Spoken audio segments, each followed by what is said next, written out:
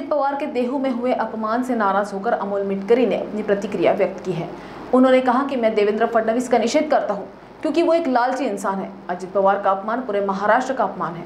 अजित पवार का अपमान बीजेपी की ओर से जानबूझकर किया गया है, ऐसा अमोल मिटकरी ने कहा है।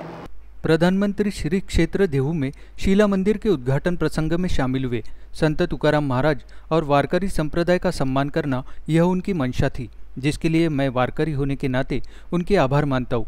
लेकिन प्रोटोकॉल के अनुसार पुणे के पालक मंत्री मावल के विधायक और स्थानीय आमदार इनको निमंत्रित न करना और पालक मंत्री स्टेज पर उपस्थित होकर भी जानबूझकर उन्हें भाषण न करने देना, यह अपमानजनक बात है।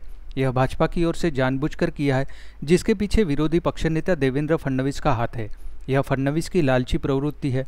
अमोल मिटकरी का कहना है कि अजित पवार देवेंद्र फडणवीस जैसे नहीं है। अजित पवार का स्वभाव, उनकी कार्यप्रणाली, उनका भाषण अभ्यासपूर्वक होता है, जबकि फडणवीस के भाषण में जाति भेद दिखता है। तुकाराम महाराज की भूमि पर खड़े रहकर उन्हीं की सीख का अपमान बीजेपी ने किया है। अजित पवार का अपमान, यह पूरे महाराष्ट्र का अपमान है। अगर देवेंद्र फडणवीस और प्रधानमंत्री मोदी ने माफ़ी नहीं मांगी तो परिणाम अच्छे नहीं होंगे। उन्हें वारकरी संप्रदाय के विरोध का सामना करना पड़ेगा। अमोल मिटकरी ने देवेंद्र फडणवीस का निषेध किया है। देशाचे प्रधानमंत्री श्री नरेंद्रजी मोदी आज श्री क्षेत्र देहू या ठिकाणी शिळा मंदिराच्या उद्घाटन प्रसंगी आले. तुकोबारायांचा आणि वारकरी संप्रदायांचा त्यांनी सन्मान करणे हा उद्देश त्यांच्या मनामध्ये होता. हा उद्देश ठेवून आले. त्याबद्दल प्रथमतः एक वारकरी म्हणून मी त्यांचं मनापासून आभार मानतो.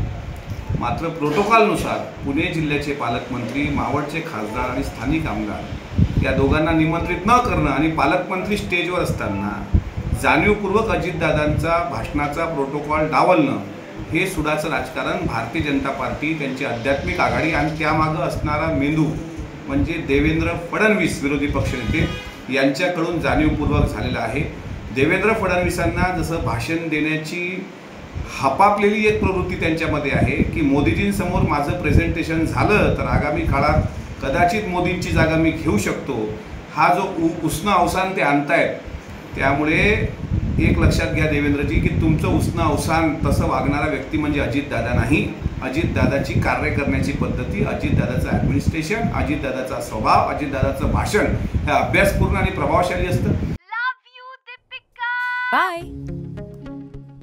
सब जानना चाहते हैं।